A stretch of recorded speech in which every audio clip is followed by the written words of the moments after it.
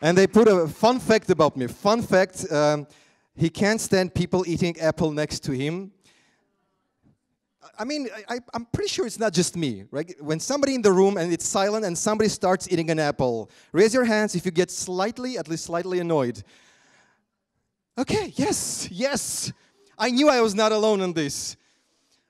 Okay, um, so I was, uh, I gotta tell you, uh, this is a lot of pressure, a lot of pressure for, for me to deliver a, a talk, kind of comedic talk to a, a sober audience. It's very tough. And um, actually, let, us check it. Please raise your hands, those, all those who are sober right now. yes, like 15%. I personally thank the early birds. Thank you very much. You, you, you make my day. So, um, anyway, I, I, just want to tell you that this is a very uh, kind of chaotic talk. It's full of chaos and random ideas. I was actually hesitating what to talk about. Some of the exciting things that happened this year, I was thinking um, maybe I could highlight the uh, advances in artificial intelligence or the fact that we announced that we're going to colonize Mars or the fact that this year I found a parking spot near the American University for the first time. Yes. Um, you know, all equally important things, but then I thought I would just, uh, I just gang up a couple of observations that I've made over the year, and it's just random, no logic between them whatsoever, just some of the things that I have to do as part of my job, observe people, your people, by the way, so I observe you when you're not watching, and I, I make some, some observations. Yeah, I, I, have them written down. I'll be radically honest, as our slogan is. So, um, there will be a lot of honesty there. Um, well, I noticed that um, we use a lot, a lot the phrase Armenians are the smartest nation. Do you have friends who use that? Yeah, yes. Two, two people, you know, no people. Well, I'm pretty sure, pretty sure that uh, a lot of you have had this friends, and I like every everybody's using that, and especially I think it's it's weird. I mean, um, I'm sorry, step back. It's true. I'm not saying it's not, but you know, it's usually uh, it's weird when uh, somebody says that and supports his or her argument with, well, we're the smartest nation.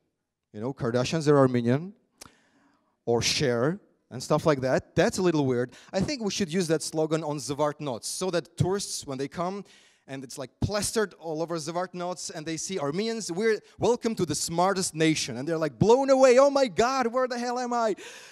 And then they get into a taxi, and you know, things change. Um, I noticed that it's kind of weird how people sometimes say, I'll be honest with you. I'll be honest with you, especially when they say it 30 minutes into the conversation. Like you, you've been talking for 30 minutes, and suddenly, suddenly, the person decides, you know, Screw everything. I'm going to be honest with you. I'm, I'm done bullshitting you. That's it. I'm done. I'm going to be honest with you. And then you expect something, and usually he says, That's a nice tie. And then you think, seriously, you had to ruin your credibility just for something like that? That's a nice tie. Save it for something really important. I think our government should, should use that a lot. Um, say, you know, every time they say something on TV, like our economy is doing great, everything in the country is doing great, but I'll be honest with you, it's not. I think that's where it fits. Then I think that um, I noticed that it's weird that a lot of the things are more appreciated when it's done by little babies. Like when they're eating ice cream. Like when a four year old is eating an, an ice cream, everybody's like, oh my God, a four year old eating an ice cream, look at that and everybody is excited. Meanwhile, when I eat ice cream, and I gotta tell you, I, I eat ice cream much, much better than a four year old. Trust me. You can try me. Buy me ice cream, and I'll just, I'll destroy that. Much better than a four year old. But nobody cares. Nobody cares. Same with piano players. You know, uh, when a little baby is playing a piano, there everybody's like, "Oh my God, with his tiny hands playing the piano." But when a middle-aged person is playing a piano, everybody's like, "Okay, that's a grown-up. He's he's supposed to play piano. That's that's fine." Excitement is out there, and um, uh, so that's a little weird. Then I noticed another weird thing that with time, after you try Ajaran Khachapuri in Yerevan, have you tried Ajaran Khachapuri?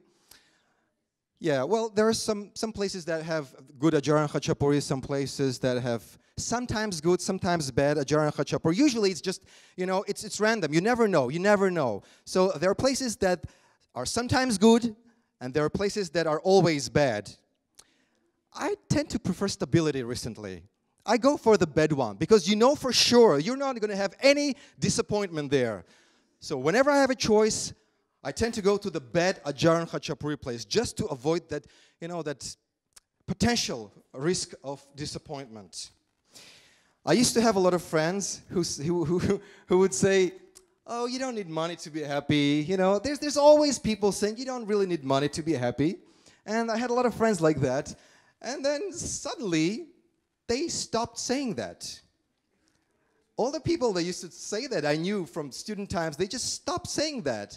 And I assume they tried. They tried being happy without money, and they didn't really like it. And So now they're back on track and they're just silent about how to be happy without money.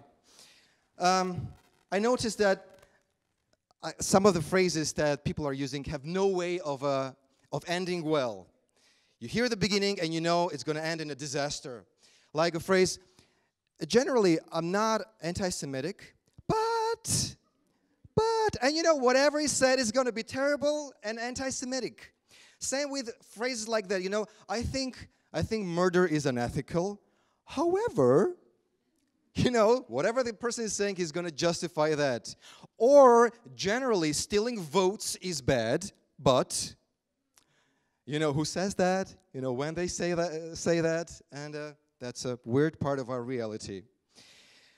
Uh, I've, I've seen some, I've been to some uh, weddings this year, and I noticed that there's a very peculiar Armenian way of wishing happiness. They tell the girl, usually anushik or something, they say, I wish you to be the happiest. The happiest. They don't say, I wish you to be happy. Because being happy for anushik is not enough. They want to make sure that 7 billion people on the planet are less happy than Anushik.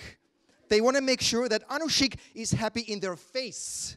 Okay? That's how much they love Anushik. So that's how much happiness they wish her. I noticed that Armenian unofficial slogan that people are using generally about the country, it, it seems like it's taken from a Thai massage salon. it's gonna end well.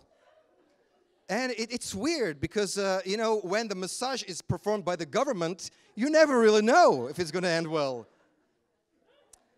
Um, I noticed some weird stuff about fairy tales that we're taking from Europe. You know, we're, we're doing pretty good with Europe recently. But Red Little Riding Hood, I think it's kind of artificially implanted here. It would never really, it's not supposed to work here because, you know, um, Armenian granddaughters I'm pretty sure, I'm pretty sure they can tell their grandma from a wolf, right? When they get into the, the, the bed, the, the apartment where the grandma is lying and it's a wolf, I'm pretty sure an Armenian granddaughter would say, oh, that, that's a wolf. I mean, we, we can tell, I can tell my grandmother from a wolf most of the time. So our, it shouldn't work here. And uh, especially when they go and the, uh, the little girl, Red Riding Hood, says, um, oh, grandma, what a big nose. An Armenian granddaughter would never say that. She would never say, because to her, it's, it's just a nose. She would just get into a room with a big bad wolf and would say, Hey, grandma, what a regular nose.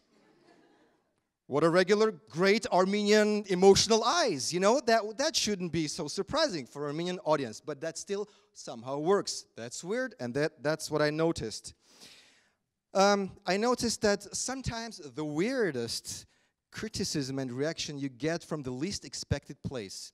Like, would you expect or imagine the French embassy to complain about a satiric program and ask not to joke about certain things? Would you? Would you? Well, um, I mean, you would expect that from Turk the embassy of Turkmenistan, which they did also. I'm not saying they didn't, but sometimes it's really weirdly coming from places with full of égalité, liberté, and uh, the other brotherly love, yeah, fraternité. So some of these weird things. And now coming back to corruption. Um, corruption, we have to be very attentive, and whenever there's a chance that we can prevent corruption, we should prevent corruption. See, corruption is not fun. Not even here. Corruption is not funny. So let's get to serious work and tackle corruption seriously. Thank you very much.